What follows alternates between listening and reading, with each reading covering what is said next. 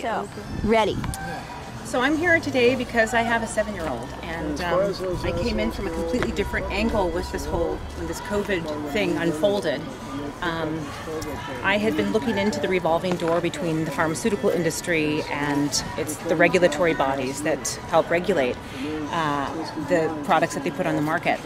And I started learning about the serious conflicts of interest.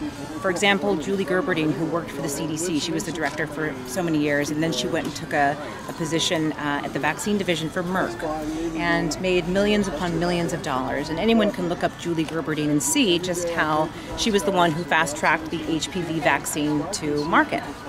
So there's just there's so many layers and I could go on for hours, but I think the reason that I'm here today is because um, we've had enough of these restrictions.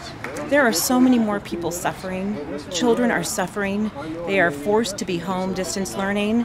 Uh, it, this has also ruined families who have to, who depend on both caregivers or the main caregiver to stay home to accommodate this distance learning.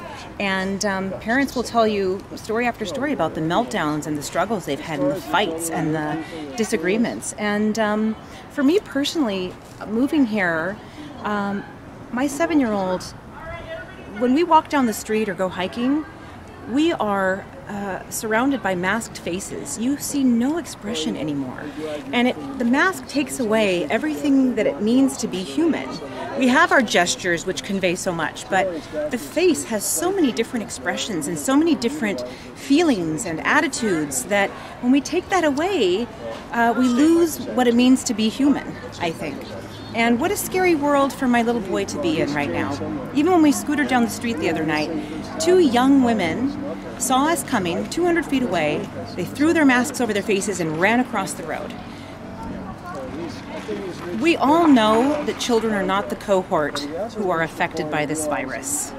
If you dig into the research, you'll see that um, they simply are not dying from this illness, this virus.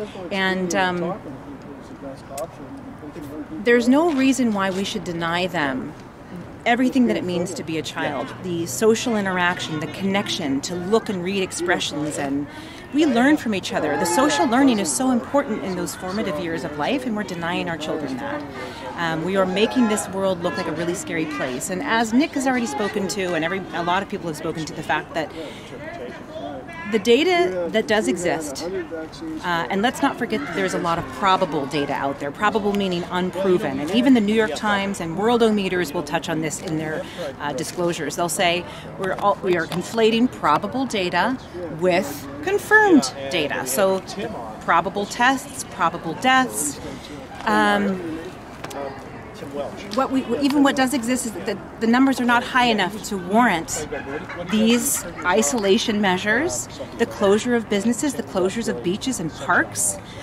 Let's talk about what we really need for help, uh, uh health. We need social interaction, hugs, touch. What do they say about babies and touch? And I see infants being separated from their mothers in hospitals because if the mother tests positive for COVID, the best thing she can do is actually breastfeed her infant and pass on those protective antibodies. Uh, we know that the antibody tests are useless. Not only are they just a boon for the industry, and the, uh, even the FDA admits that 50% of the antibody tests were, were just crap um, they also found in, a, in, an Oxford study of 9,000 healthcare workers that the the main uh, Abbott laboratories doing some of the antibody testing couldn't even detect low levels of antibodies because they do eventually fade. And what we what we are learning is that there is cross-protective T cell immunity, and we need to be talking about that. We need our healthy population, like Sweden, to be going out, boosting their immunity through exposure. That's how we build our immune systems when you're healthy and you're strong and you can take the virus on and get over it and move on. And what we could have done instead was just take care of our elders and help them stay, you know, stay separate and but they didn't have to shut everyone down. I can the it, you cannot calculate how many more deaths have come from the unemployment rate, from the people who aren't getting paid, from the people who have to give up work to homeschool, this is just creating a sick and dependent society. And what this ultimately is about, finally, and I hate to say this because I didn't, I came into a whole nother arena here. I think wrenchinthegears.com, my gosh. it'll it just really explains the purpose of um, biometrics, contact tracing, ID 2020, and when you start to learn about uh, Gavi, Vaccine Alliance, and Bill Gates, and how Gavi and Bill Gates fund the World Health Organization, and all of the little layers that are connected there, and the conflicts of interest.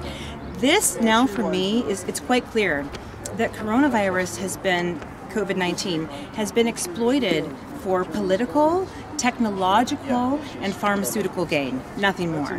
And it's time to end the lockdown. It's time to reopen schools without the masks. I've had enough.